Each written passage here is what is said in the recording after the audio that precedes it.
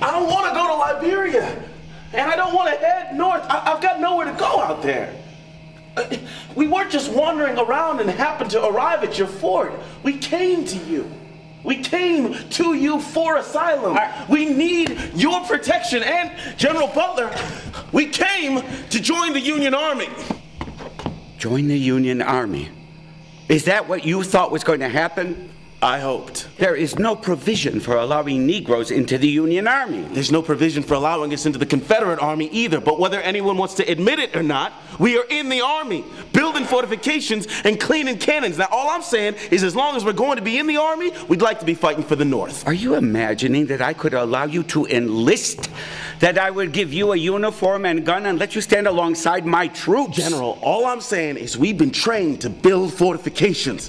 Now, we can do that facing north or we can do that facing south. The uniform and the gun and the standing alongside your troops, well, sir, that part is up to you. You are delusional. Do you know that. Look, we can stay here and help you kill Virginians, or you can send us back to where we can help kill you.